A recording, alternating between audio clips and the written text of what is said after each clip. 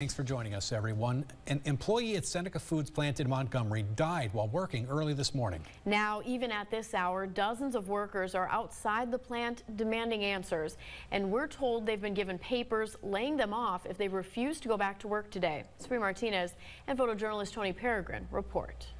Workers at the Seneca Foods plant in Montgomery have walked out after the death of one of their own.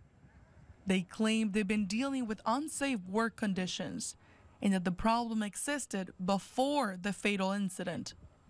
We had we had one of our coworkers tragically pass away here at the plant, and they want us to come in and work. No, what about my life? We're not disposable. We're humans. We have lives. Around 3:30 Thursday morning, multiple law enforcement agencies responded to the incident at Seneca Foods.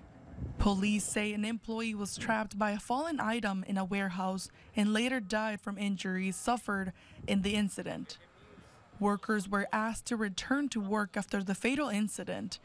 They tell KEYC that those who refused to work were given this paper laying them off, effective immediately. And how do you feel about the layoff? Do you think that's enough? No, no. absolutely no. not. No, this this is just like a small victory in the big war against this company.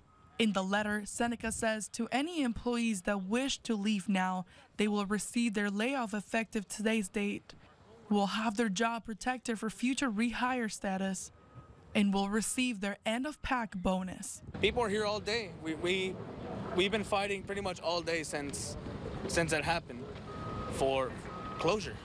Sofia Martinez, KEYC, News Now. Minnesota OSHA Compliance is investigating the incident at Seneca Foods. We have reached out to the company for a statement and we're still waiting for a response. The name of the worker who died is being withheld pending family notification.